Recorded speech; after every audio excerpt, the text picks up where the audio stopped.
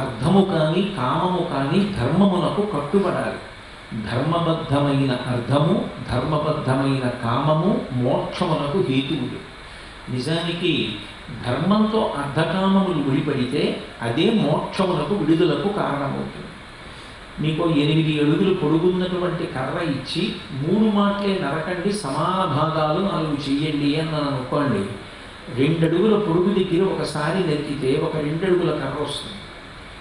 ఆరు అడుగుల కర్ర మిగులుతుంది మళ్ళీ రెండు అడుగుల దగ్గర నరికితే ఇంకొక రెండు అడుగుల కర్ర వస్తుంది. నాలుగు అడుగుల కర్ర మిగిలితే వీరొక్కసారి నరికితే రెండు అడుగుల కర్రలు రెండు వచ్చేస్తాయి నాలుగో మాట వరకక్కర్లేదు ధర్మముతో అర్థము కామము ముడిపడితే మోక్షము తనంత తానుగా లభ్యమవుతుంది. అందుకే ధర్మము ప్రధానమై ఉంటుంది. పురుషార్థములలో ధర్మాన్ని ముందుకు తీసుకురావడానికి కారణం అదే అయితే ధర్మాచరణము గొప్పదే. కానీ ఏది ధర్మము? ఎందు ఎందుచేత అంటే ఈశ్వరుడు సత్యము. ధర్మము నిరంతరము కదిలిపోతుంటుంది. ధర్మము ఎప్పుడూ ఒక్కలా ఉండదు. నిరంతరము మారిపోయేది ధర్మం. కదలకుండా ఎప్పుడూ శాశ్వతంగా అలాగే ఉండేది సత్యం. అందుకే సత్యం శివం సుందరం అవి భగవంతుడికి పర్యాయ పదాలు ధర్మము కదులుతూ ఉంటుంది. కదిలిపోతున్న ధర్మాన్ని ఎవడు అనుష్ఠిస్తాడో వాడు కదలనటువంటి సత్యమును చేరుకుంటాడు. కదలని సత్యమే పరమేశ్వరుడు. కాబట్టి ధర్మానుష్ఠానం అనేటటువంటిది అత్యంత ప్రధానం. ధర్మానుష్ఠానము వలన మాత్రమే భగవంతుణ్ణి చేరుకుంటాడు. అది ఒక్క నరజన్మలోనే సాధ్యం. నిరంతరం ధర్మం మారిపోవడానికి కారణం అనేకమైనటువంటి హేతువులు ఉంటాయి. అన్నిటికన్నా మొదటిది ఆశ్రమం. నేను ఏ ఆశ్రమంలో ఉన్నాను అన్నదాన్ని బట్టి నా ధర్మం మారిపోతుంది. నేను బ్రహ్మచారిని అనుకోండి నా ధర్మం వేరు. బ్రహ్మచారికి ఏకాదశి ఉపవాసం మీరు ఎప్పుడూ గురువుగారి దగ్గర కూర్చుని విద్యాభ్యాసం చేయడం ఒక్కటే ఆయన యొక్క ధర్మం. ఆయన రేపటి గురించి ఆలోచించవలసిన అవసరం లేదు. ఎందుకంటే గురువుగారు అన్నం పెడతారు. గురువుగారు చెప్పినటువంటి పని చేయడం డబ్బలు తీసుకురా అంటే తీసుకురావడం భిక్షాటన చేసి పట్టుకురా అంటే భిక్షాటన చేసి పట్టుకురావడం గురువుగారు చెప్పినటువంటి చదువు చదువుకోవడం గురుపత్ని పెట్టిన అన్నం తింటాం బ్రహ్మచారి యొక్క ధర్మం వేరు గృహస్థు యొక్క ధర్మం వేరు. గృహస్థాశ్రమం వచ్చేటప్పటికీ ఏ ఏ విషయములు మనసు ఎందు పొటమరించక మానవో వాటిని ధర్మంతో ముడివేస్తారు. అందుకే సనాతన ధర్మమునందు గొప్పతనం ఎక్కడుంటుందంటే ఆశ్రమాన్ని మార్చడం కట్టు మీద కట్టే తప్ప కట్టు విప్పడం మాత్రం కాదు.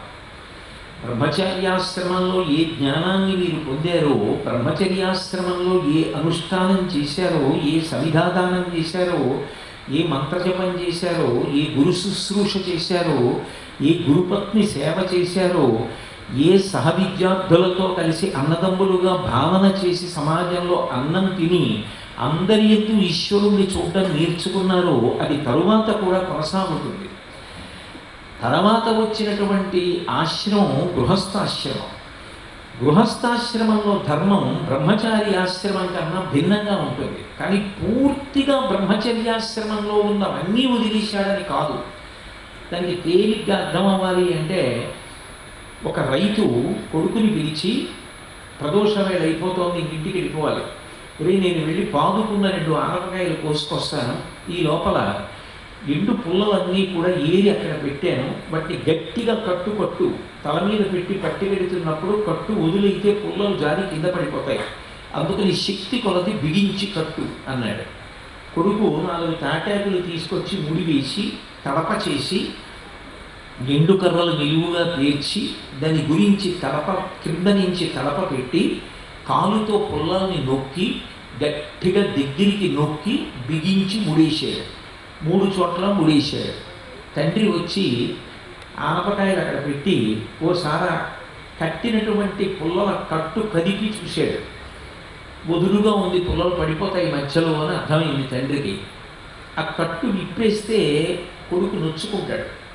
అందుకని తండ్రి వేరొక తలప తీసుకొచ్చి కొడుకు ఎక్కడ కట్టు వేశాడో అక్కడే పుల్లల కింద నుంచి తన బలాన్ని ఉపయోగించి బాగా కట్టె పుల్లల్ని కుదించాడు.